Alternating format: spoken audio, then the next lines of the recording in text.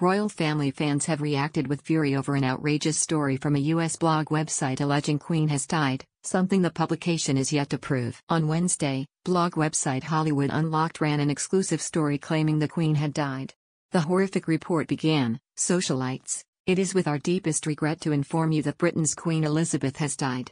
Sources close to the royal kingdom notified us exclusively that Queen Elizabeth has passed away.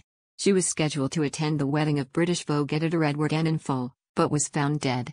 Shortly after the story was published, the blog's founder Jason Lee defended the story, tweeting, We don't post lies and I stand by my sources.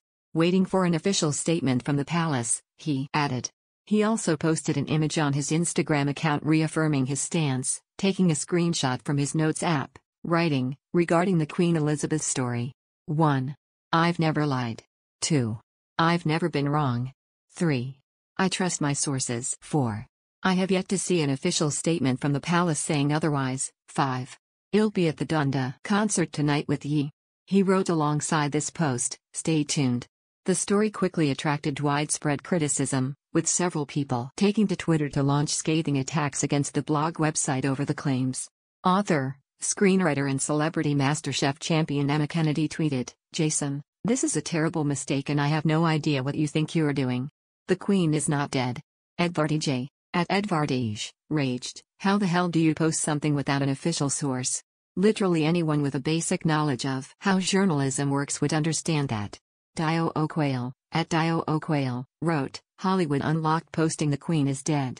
There is no credible source that verifies this. False. On Wednesday, a seemingly fake Twitter account, claiming to be the outlet, shared its deepest apologies to the royal family and called the mistake an embarrassing situation. The tweet read, It was an accident and we're working hard to make sure that this mistake never happens again. The intern journalist was misinformed and published the draft post by mistake.